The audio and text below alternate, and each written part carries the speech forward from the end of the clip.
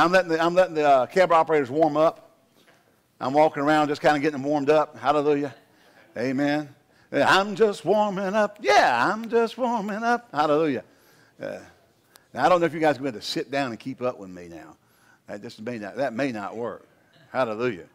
All right, go ahead and open your Bibles, if you will, um, to the 12th chapter of the book of Matthew. We're going to pick up from last week. Course, when you pick up from one sermon into a week between them, you got to kind of recover a little ground just to kind of refresh everybody. We're talking about the power of words. One minister said at one, one time, he said, No one has a choice of whether or not he lives by words, but he has a choice of what words he lives by. Uh, Jesus said in Matthew chapter 12, verses 36 and 7, I say unto you that every idle word, that means uh, lazy, inactive, unemployed, useless word, um, that men shall speak, they shall give an account thereof in the day of judgment. For by thy words thou shalt be justified, and by thy words thou shalt be condemned. Hallelujah. And so we know this that you know the, the confession of Jesus Christ as Lord is how we get saved.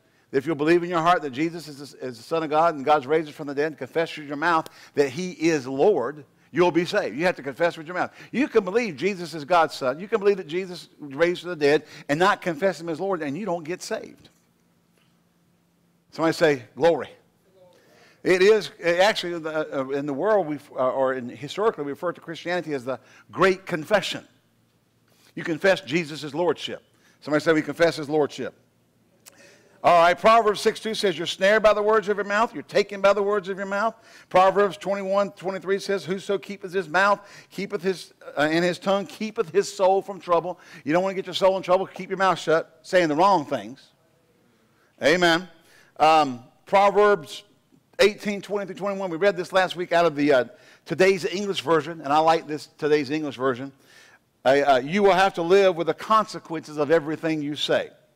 What you say can preserve life or destroy it, so you must accept the consequences of your words. So, what we speak does have an effect on our lives and on the things around us. So, we need to learn how to say the right things. Isn't that right? Now, we're not simply talking about the power of positive thinking or even the power of positive speaking. We're talking about something that is birthed out of the deposits made into the heart of man through the Word of God and revelation coming by the power of the Holy Ghost. So you're speaking it because it's out of your, out of your, out of your heart in abundance. Amen? You know, uh, Jesus said one place, he said, A good man out of the good treasure of his heart bringeth forth good things, and a, and a, and a man bringeth forth evil things out of the evil treasure of his heart. So what you put in. Now, how many know this? Whatever you put in your bank account is what you can get out. You put in pennies, that's about all you're going to get out. All right? You don't, don't expect to go put in 25 cents and get $25,000 out. I mean, if you did that, that's called insider trading or something. Okay, you go to jail for that, unless you're in Congress. Okay, they're, they're exempt from insider trading laws. I don't know if you knew that or not. Uh, they don't have to, they, they can do insider trading and, and they don't go to jail. You do the same thing, you go to jail. But that's another sermon or another soapbox. Ha, ha, ha, ha. Okay. I'm going, Bill, we want to have canned laughter. We're going to do the old fashioned you know, sitcom stuff. You know, when I say it funny and the congregation sits there like a knot on the log, we'll just play the laughter. Ha ha ha ha. All right. All right. So, um, our words have authority. We talk about Jesus speaking to the, to the fig tree. And then we talked about how in Numbers chapter 13, how the Israelites went into the land, spied out the land, and when they came back, they said, We were in our sight as grasshoppers, and so we were in their sight. But when you study your Bible, you find out that all the people of Canaan land were afraid of Israel showing up because they had heard how God had delivered them with the 10 plagues and brought them out and drowned the Egyptian army in the midst of the sea and all those things. And then it took them 40 years to go in, and they asked, them, finally, one place, to kind of paraphrase it, said, What took y'all so long?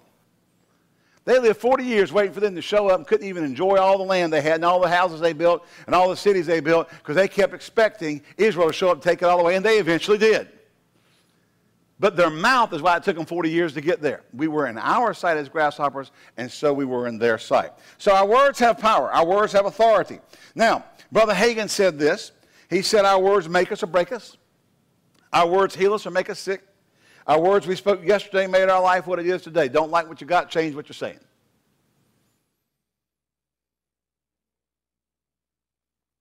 I need a choir of bobbleheads. You know, with a little vibrator switch, we can just flip it. They just, it makes all the heads go. I'm going to even get me a Charles Barkley bobblehead and put up there. Y'all seen him on the, on the games and stuff? All right. Here is how we get our words right. We get our thinking right. Okay? See, we can all make an exercise that when everybody's around us, we, we get ready to say something. Oh, I can't say that because that's a negative confession. But see, that's, that is, that is um, what's the word I'm looking for? That is, what's that word? There's a word there. it's, it's, it's not real. I'm trying to, it's like a faux confession. It's, it's, you're doing it because somebody's watching you. You're doing it because it's an exercise. You're doing it because somebody's watching. You know, it's, it's, like, it's like, you know, you're at work and um, uh, how many seen the commercial with the little kangaroo sitting there going, I love to work. Hey, boss, I love to work. I love to work. And they go about watching their game on their iPad. I think it's for uh, Hopper, the Hopper, the Hopper. And it's a little kangaroo there. And, uh, you know, the boss comes in, and all of a sudden they're working hard. You see? And you see, when you're making confessions because Brother Benny showed up, and it's all right because you know, Brother Benny's going to say, well, the word says this, the word says that, and you're making that correct confession, that's not, that's not cutting the mustard. Your thinking has to be changed so that you think differently about the Bible, about life, about everything. And that's it. Now, first of all, you got to be saved.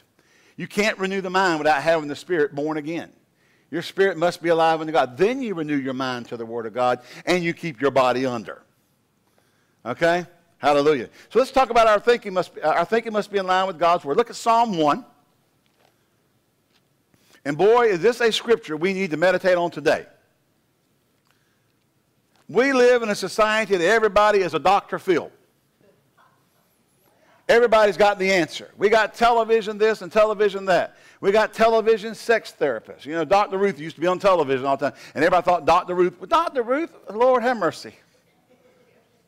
You know, just some people got to look at it and go, yeah, I shouldn't take advice from them. It's like riding by the sign out there that says spiritual advisor on, you know, advi- uh, spiritual advisor, health, prosperity, and, and, and whatever else. And they're living down in some dilapidated lean to, and you're going to go to them for financial advice. Are you here? You know, Sister Ruth, financial advisor. And, and, and the thing's about to fall apart. And you're going to go in there and they're going, they're going to go seance all over you and give you the wisdom you need to get rich. Well, it seemed like if, if, if they could work it on you, they could work it on themselves. I just think that's kind of my opinion of the thing. I think looking at it, that's how I would figure it out. What do you think? All right? Look at Psalm 1 1 here. It says, Blessed is the man that walketh not in the counsel of the ungodly, nor standeth in the way of the sinners, nor sitteth in the seat of the scornful. But his delight is in the law of the Lord, and in his law does he meditate day and night. Now stop here. See, we have a, a statement here that tells us that the counsel of the ungodly and the way of sinners and the seat of the scornful, and then he comes back, but his delight is in the law of the Lord. What's that tell me? That the sinner, the ungodly, and the scornful give counsel outside the word of God. Amen. Amen. Human counsel, human reasoning, human thoughts, the way I feel about it. Well, I just think. Well, I don't give a rip what you just think. I don't need what you just think. Because what you just think got you where you are. And if I'm going to analyze where I want to be and I'm looking at you, I'm thinking, maybe I don't want to be where you are. All right? So I need something bigger than where you are. But see, everybody likes to be the one who knows, who knows everything. I'll tell you what I'd do. Well, what you would do may not be Bible. It is the counsel of the ungodly. It is the standing in the way of sinners. It is sitting in the seat of the scornful. See, if you're going to give people help, and the only help you can give somebody that's going to help them is to give them Bible. Give them the Word of God. It is the perfect knowledge. Remember, the Bible says this that the wisdom of this world is first earthly, sensual, and devilish. Now, what sensual means? That doesn't mean just, you know, sexy. It means appealing to the flesh. Worldly counsel appeals to your flesh. It's carnal. Just bobblehead for me. Come on. Get the camera on bobblehead. Somebody bobblehead, get a camera. All right. Do you understand that? Sensual counsel or wisdom is fleshly wisdom that appeases to the flesh, that makes the flesh happy. Did you know if you get godly counsel, your flesh is not going to be happy? Now remember 2 Thessalonians chapter 5, verse 23 says that God prayed, that Paul prayed our whole spirit, soul, and body be preserved blameless until the coming of the Lord. Now that is your, your pneuma, your psuche, and I forgot the, the Greek word for, for, for uh, soma. Soma. So your psuche, your, your, your pneuma, and your soma. Okay? The pneuma of man is the spirit of man. The psuche is your soul, and the soma is the fleshly part. I like to call it your earth suit. Did you know that your spirit and your, your psuche and your pneuma exist outside of your soma? If your body, if your body ejects your spirit, you still exist. You, in, in, the, in the resurrection, we all get our bodies back, but until then, you, you can exist without your body. You just can't exist in this realm. You have to either go to heaven or go to hell. I can tell you the first one's a better place. All right? Hallelujah. Amen. Okay? But see, the, the world, the way Satan has, Satan has tried to make us flesh ruled creatures. Paul wrote to the church in one place, a church at Corinthians, uh, uh, he says, Are you not carnal and walk as mere, uh, the King James says walk as men, the Amplified Bible says walk as mere men, mere unchanged men. So your flesh will dominate you. And that is why we cannot stand in the, uh, we cannot listen and sit and hang out with the counsel of the ungodly. Well, they're a Christian, but if they're not giving you Bible counsel, they're giving you ungodly counsel. If they're not telling you what the Bible says, they're telling you what they feel. Well, I think. Well, I believe. We know Jim Jones said he believed that he was out beyond the Bible. Everybody drank Kool Aid, buried 900 people. How many, how many remember that? Okay? All right, I, I, remember, I remember them going down there and having on the, the national news that night when it was happening, all that stuff. I remember that. You know? He was out beyond this. Too far from me. Okay? We have to understand that the counsel, blessed is he who stand, walketh not in, not in the counsel of the ungodly. My margin says the wicked. See, I believe Christians, if they can be born again, but so fleshly, they can give wicked counsel. They can give counsel out of the realm of the flesh and not out of the realm of the spirit. And they can give it to you, and if you follow it, you're going to get in trouble. And it's going to hurt you. Now, we need, we need wisdom. We need counsel from the Spirit of God. Everybody say counsel from the Spirit of God. We need counsel out of the Word of God. So, if we're going to change how we think and how we act, how we, what do we do? We get the right stuff in us. We get the right counsel in us. We get what the Word says. You know, there's a, there's a mantra going on in the church today, basically, that anything we do is okay because we're under grace. That's the same thing Paul dealt with the church at Corinth. Now, I, I, I said this, I shared this on Wednesday night, but I'll share it with the Sunday morning crowd, because if you weren't here, you, we've all heard people say, well, you know, the Bible does teach that all things are lawful to me, but not all things are expedient. You know, and so anything I do is lawful. That's not what Paul said. If you go study it out, you'll find out that there was a saying in the church at Corinth that was this I can do anything. Or all things are lawful to me. Paul, and so Paul came back in his letters and went, You might say that all things are lawful to you. Then Paul gave a rhetorical answer to that, but not all things are expedient. You might say all things are lawful to you, but not all things are profitable. It was not a doctrine of all things are, all, uh, are, are lawful. That was not what Paul was teaching. Because if that were true, then rape and incest were lawful. And we know that's not so.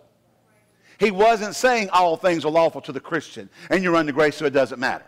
That's not what he was teaching. And anybody that teaches that just hadn't studied the Bible beyond their nose. They studied it as far as they could get what they wanted to hear. We got to go beyond what we want to hear. You know what you should want? You should want to be transformed and changed day by day. Amen. To go from faith to faith and from glory to glory, line upon line, precept upon precept, here a little, there a little, until we become, become more and more and more conformed to the image of Christ. Instead of finding a place we want to hang out and get away with everything we can and still get heaven. Yeah. That's carnality. If all you're looking for is to hang out and get away with everything you can get away with and still get to heaven, you're carnal. Now, I'm not being mean. I'm trying to locate you so you understand. We want to be spiritual. Paul wrote to the church and said, I could not write unto you as spiritual, but as unto babes. Hello? It was not a compliment. It was a, it was a wake up call. We, want, we should want to grow in Christ. We should be so grateful that we're born again and we're delivered from the kingdom of darkness and into the kingdom of His dear Son. That everything we do is to progress and become more like Jesus. Glory to God. Hello? Yes, if you miss the mark along the way, there is the throne of grace. Glory to God. That we can come there in the time of need. Hallelujah. But you shouldn't live at the throne of grace for all the needs because you won't grow. You come when you mess up, but you don't use it as your life crutch. Does that make sense? I might, get, I might get a Mickey Mouse letter. Listen, I'm trying to say this. The throne of grace is there if you mess up. But you shouldn't live messed up at the throne of grace. You should be growing. And then when you do mess up, you run over there. There's a difference in the attitude. Hello? There are people, there are people in the world who live to get by with the, the least they can get by with. You got people, listen, unions. I, I'm sorry. But a lot of our unions are all about how the least you can do and still get paid the maximum dollar price. Maybe they didn't start out there, but that's where they are now. All right? If you go and turn too many bolts, they get rid of you or they threaten you because you know, go back to everybody else work harder. It's not about how much you can get away with. We should be doing more. We should be, listen, with all, with all the stuff we got, we should be, get, be more productive. We should be producing more. Instead of getting paid, uh, we, we, we want to get paid more for doing less instead of doing more and, get, and getting paid what we were getting paid. So the company, if the company prospers, it, it'll eventually, it'll trickle down. That mindset, that is a mindset that's in the world. It is a worldly mindset that we're going to try to see how much we can get, least we can do, and still get the maximum return. The hand of the diligent prospereth, the Bible says. Now, maybe not every single union is like that, but I'm telling you, a bunch of them are. And it's all about, you know, you got places uh, in Vegas when they tried to take the furniture market out of High Point over to Vegas. They would go in there and they would, they would go into a showroom and they could not move their furniture into a showroom. If a lamp was in the wrong place and they wanted to unplug it and go move it to another receptacle in the showroom, they couldn't touch the lamp. The owners couldn't. They had to call a union guy to come in, unplug the lamp, move it across the room, and plug it back in and charge them $300 or whatever to do that. That's why it's, it's not making out there. It's coming back to High Point and Strong and High Point because they can't handle the unions. They can't handle that. That's, is that crazy? Well, see, that's, that, see, that's, you know, how much, you know, so you're going to pay this guy 300 bucks to move a lamp. He's not, it's not worth 300 bucks to move the lamp. Four year old Jimmy John can go move the lamp for 25 cents and, and a candy bar. Are you here? So some of these things, not, not, like I said, not every single one, but they're, they're, they're out there. And, and, and that, that is a mindset that has infiltrated the world and infiltrated the church. That's just a microcosm of that mindset that, you know, how much can I get away with? Well, that should not have entered into the church, but it has and it's come through the counsel of the ungodly. Our minds need to be renewed to the Word of God so we think like Jesus, do like Jesus, act like Jesus. We're getting as much done with, ma- we're maximizing our potential in the kingdom of God and getting as much done as we can. And we're drawing closer to Him. He's drawing closer to us. Glory to God. We're acting more like the Lord less, instead of, man, I tell you what, look, I got saved. And as long as I don't renounce him, I can make it into heaven. So I can drink, smoke, shoot up, do whatever, all this kind of stuff, claim the grace of God, still make heaven. That's not how it's supposed to be. And even if it were true that that were true, it's not the right way to think. We should be pursuing God. As the deer panteth after the water, so my soul longeth after thee, as in a dry and thirsty land. Glory to God. That should be the heart of the believer, that we're pursuing God with everything we got. That He's all to us. Hallelujah. That when we move and breathe, in Him we live and move and have our being. Glory to God. That is the counsel of godliness. Hallelujah. Instead of, man, how much can I get away with and still get heaven? You're thinking wrong. And if you think that way, then what's going to come up out of you in the time of need is the same thing it's going to be impotent of faith. You won't have the faith you need to overcome and to win because you haven't put the right stuff in. Let's get the right stuff in. Isn't that right, Brother Benny? We want the Word of God. We want the counsel of God. God says, My ways are not your ways, and my thoughts are not your thoughts. For as the heavens are higher than the earth, and the rain and the snow cometh down thither, glory to God, and returneth not unto me void, but, but accomplish the thing whereunto I sent it, so shall my word be that goeth forth out of my mouth. So that means we, we got to take a step up in our thinking.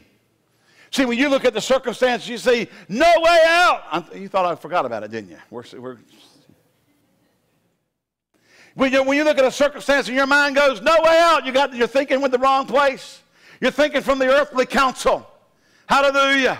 When you hear from heaven, you say that God has made a way of escape, that with God all things are possible. Hallelujah. To him that believeth, praise God. That God, hallelujah, has an answer for you before you ever ask about it, praise God. Amen. Problem with HD is you're going to see spit. Get the preaching, that's going to show up on the camera. Hallelujah. See, when we begin to take the counsel of godliness, he says here, he said, Blessed is the man that walketh not in the counsel of the ungodly. Don't go to your buddies who will tell you what you want to hear when you got trouble. You go find somebody full of faith in the Holy Ghost who's going to give you the counsel of the Word of God, and you may not like it. But it's the answer you need. It's the life of God that'll, that'll turn your circumstance around. It's the life of God that'll fix that mess you're in. How many of you ever been in the mess? Oh, Jesus. If I could raise both hands and both feet at the same time, I would, but I would land flat on my backside. So I'm not going to do it. But listen to verse 2. But his delight, who? The blessed man, is in the law of the Lord and in his law he does meditate day and night. What happens to that man when he meditates in the Word of God? When the Word of God is his delight, when the counsel of the Holy Ghost is his answer in the hour of need, he shall be like a tree planted by the rivers of water that bringeth forth his fruit in season, and his leaf shall also not wither, and whatsoever he doeth shall prosper. Woo! Hallelujah. What's it going to do? It shall prosper.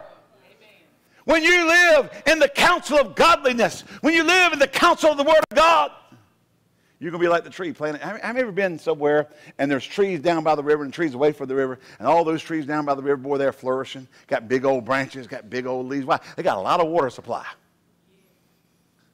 You can have drought 60 yards away, but right there by that river, they got lots of water to draw from. God said, when you receive the counsel of godliness, when you delight in the Word of God, see, the law of God, Old Testament, is the Word of God. You'll be like a tree planted by the rivers of water. There's a supply to nourish all the time when you're by the rivers of water. Amen? Verse 4 The ungodly are not so, but are like the chaff which the wind driveth away. They dry up. Oh, yeah, they got all the answers and they dry up. Hello? Why do they dry up? Because there's no life supply in them. They're moving on what they feel, what they think. I'll be honest with you. If what somebody thinks is not followed with, and the Bible says this, if it's what they think, you better just stop and say, okay, how's your life in this area that you're going to counsel me in? Well, well, well, well, well, but I, but I, I know that. No, no, no, no, no. I don't need to hear from you. Come on now. I need to hear from heaven. You need to hear from heaven. Well, how do we hear from heaven if God doesn't audibly speak to us? He, he can and does to people at times. But that's not, remember this? That is not your number one way of hearing from God. This is your number one way of hearing from God. And you go, you go talking to somebody and say, I need a word from God. They'll give you something It may not be from God. I've been around people. I've been around the prayer chair. I've been around the yea, thus saith the Lord folk. And I believe in prophecy and I believe in the, the yea, thus saith the Lord. No, I, I, mean, I've, I've operated in those things, but I am telling you, when people start prophesying to you and stuff, and it, it just, and they're more messed up than anything in the world. Hello? You know, Dad Hagin said he had, he had thousands of people over the years prophesy to him. Every, every church he went in, you're supposed to go get a tent. That's back then when the tent revivals were real big. And they, every, every church he go, and see, the Lord told him to go into the churches. Yeah. So that's why you got you got to hear from heaven. The Lord said, go to the churches. He went to the churches. Every church he went in, somebody comes, the Lord showed me you're supposed to get a tent. Now the Lord told me to, go, you know, the, to stay in the churches. Now I've heard from heaven. Well, you know, listen, we hear from heaven first. And what somebody's telling you, it doesn't line up with what the Lord's telling you, then they're not hearing from heaven and you don't follow it. I've seen people get married that way. Everybody say dumb to dum dum. You don't marry somebody because Joe prophesied to you. You might not even like her. Pastor Hagin, in, marriage class, I think he still tells the same story today, but I had him in 1981. The girls had him in the past two years in family and marriage and a cap, and uh, Jeff had him, had him when he was there at Rhema and from family and marriage class. And he he tell the woman about the story about the man, man who married a woman because she could sing and play the piano and enhance his ministry. And so they've been married a couple of weeks. And they're sitting at the breakfast table, and he's got the newspaper, and she's on the other end of the table. He's on this end, and he lowers the newspaper and looks at her, and he goes, "Sing, woman, sing." Y'all will get it later he realized that he, he wasn't really, interested in how she looked, that she needed to sing to remind him why he married her. See, that's not godly counsel to marry somebody because somebody else thinks you're supposed to be together. Yeah, I, I believe the Lord showed me y'all supposed to be married. Well, let me tell you something. I could have told Jerry seven years before he married her. I never told Jerry to marry Janice. I wanted to sometime. Like, my God, how long is it going to take you to figure this out?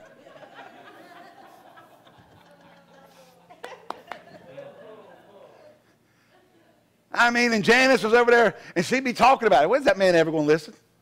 Not to you, but to God. But she wouldn't tell him that either. So when, we, when they did get married, we turned them around and we said, ladies and gentlemen, finally, we present to you Mr. and Mrs. Jerry, Janice, Jerry Dowd, Janice Dowd. We know that's how it is, don't we? Janice Dowd. Mr. and Mrs. Janice Bray. You know, right, Jerry? Yeah, we, we know how it is. You see, Jerry, Jerry has learned the two major words of marriage. Yes, dear. That's right. You learn yes, dear, you will have a successful marriage. If you learn the word but, anyway, now, you know I'm messing. I'm really messing. I don't have, that's not Bible. I'm just messing with you right now. Glory to God. So when we change the way we think, Paul writes in Romans, in the 12th chapter, and I'm, I'm going to try to wrap it up here. We're running real, real late this day, today. I beseech you, brethren, by the mercies of God, that you present your bodies a living sacrifice. Did you think about that? With all the stuff people saying we can do with our flesh, and Paul says make it a living sacrifice. They just don't line up, do they? Does that line up that we can do anything we want to do and because we're the grace it doesn't matter? And Paul says take your body and make it a living sacrifice. That, that those two concepts don't line up. So who's right? Bible? Every time. Hallelujah. Uh, I better lock this up. Hallelujah. Present your bodies a living sacrifice, holy and acceptable unto God, which is your reasonable. The word reasonable in King James is better translated from the Greek spiritual service. And be not conformed to this world, but be transformed by the renewing of your mind, that you may prove was that good and acceptable and perfect will of God. Then Luke 6 45, a good man out of the good treasure of his heart bringeth forth good, and an evil man out of the evil treasure bringeth forth e- evil. Out of the abundance of the heart, the mouth speaks. Therefore, we must begin to put the right things in and fill ourselves, fill our treasure, fill our storehouse spiritual storehouse up with the Word of God, with the right things, with the right thinking, with the right attitudes, so that we can pull out of that the counsel of godliness. Keep our bodies under. Amen. Speaking the right things, saying the right things. But see, when you have the right things deposited into you, the right things will come out of your mouth.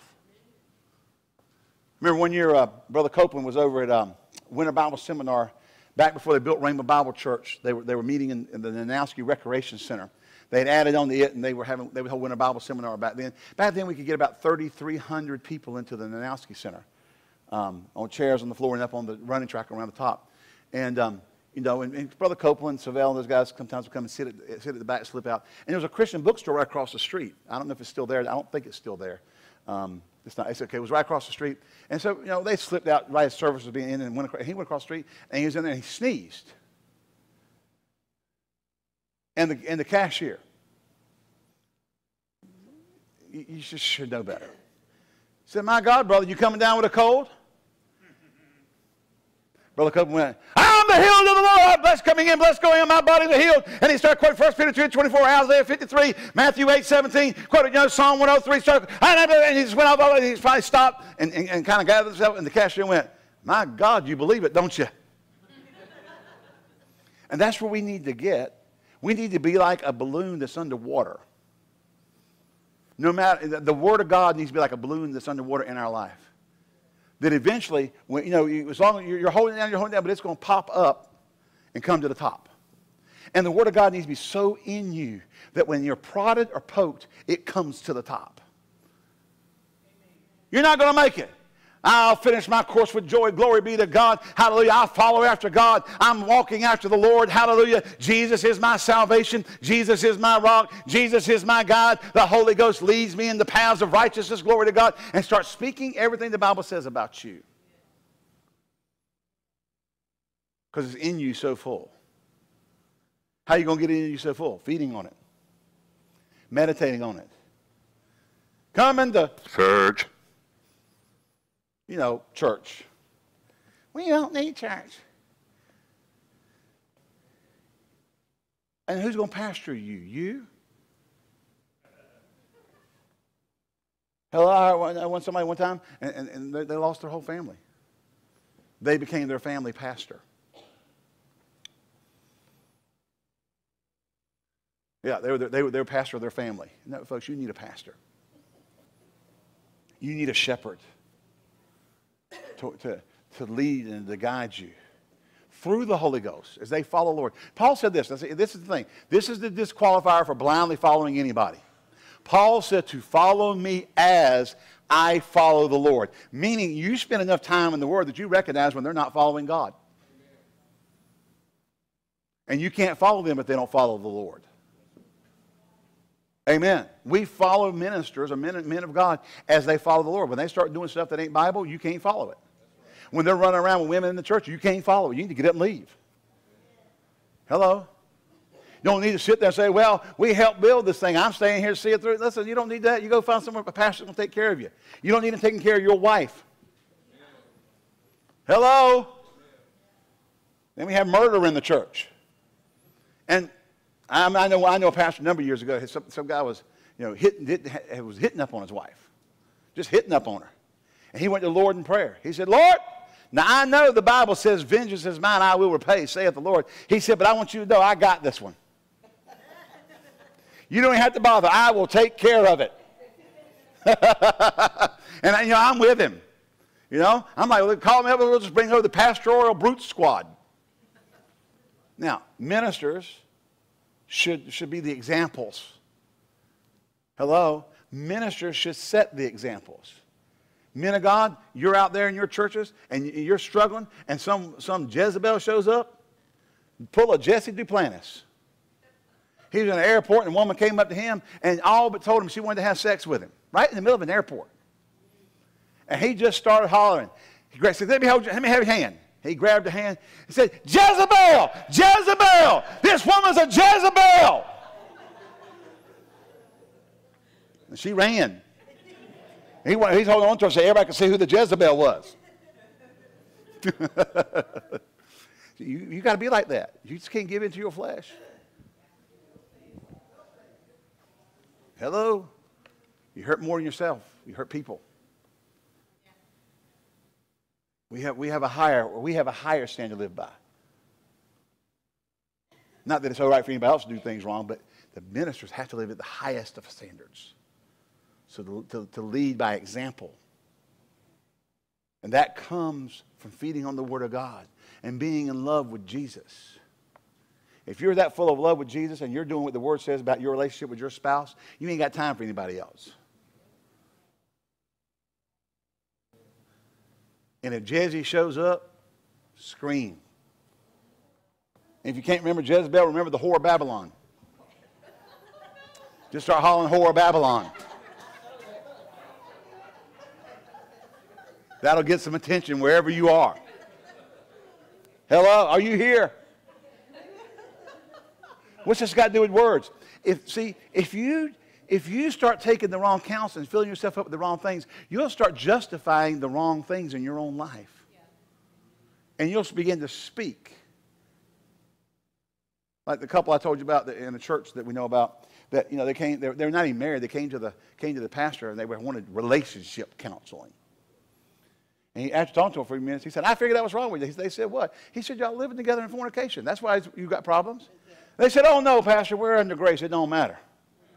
He said, You need another church because I can't help you. You reject the Word of God, I, I can't help you. Somebody say, Glory. All right. Praise God. So we're going to change the way we think. And as we change the way we think by putting the right things in, then right words begin to come out. What happens when right words begin to come out? We begin to set the course of our life with the right things because they're coming out by faith. They're coming out of the abundance. And that abundance is what sets the course on life, the course of life on track. Amen. Not a guarded, oh, Brother Bill standing five feet away from me, I better say the right thing. It's got to come out because it's coming out of your heart in abundance. It's what you believe. You ever talked to a salesman before who just was selling stuff because he had to make money by the end of the month? You ever talked to a salesman who believed in his product? Big difference, isn't there? Well, the other guy's about to break your arm to get you to sign anything, just get you to sign something so he can get some kind of commission. The other guy believes in the product, whether you sign or not, that's okay because somebody's going to buy it because he believes in it so much. You got to believe in what the Lord has in His Word for you that much and be full of it. Amen. Father, we thank you for the Word. We thank you for our time together. Thank you that you're, you're ministering to us by the Holy Ghost.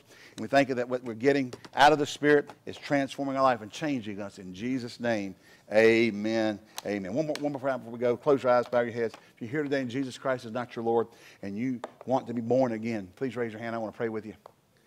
Hallelujah. Anybody? Don't to leave anybody left out. Well, Pastor, I, I, I, know I came to know the Lord sometime in my life, but man, I've walked away from it. I've gone all that into the world, lived in the world. And I've, I you know, this morning I kind of woke up and realized I've been eating the pig slop of the world, just like the prodigal son. And let me tell you something, folks. I've seen pig slop. It's no good. And spiritual, uh, spiritual, spiritual, spiritual pig slop's worse. So this morning, if you're tired of eating the spiritual pig slop of the world, raise your hand. I want to pray with you. All right. Everybody look up at me. Stand up. Glory to God. We're glad you're here today. I need camera operators to sign up. Can somebody say glory? We're, we're going to get this. Whole, I mean, listen, this is, this is all going to be put into a back room. This, all the, where Bill's sitting is not going to be in here. It's going to be in another room. The camera's going to be, uh, all, these two on the side be out of the way. It's going to be a little more discreet than it is right now. We're just trying to get everything finished off, working out the technical issues. If you want to give, we've had to spend more money than we, we planned on because some of the things weren't up to snuff as far as uh, technology dating. The cameras are the most important things we've gotten. These are $3,100 a piece if we had to buy them brand new. That's $9,300 in cameras.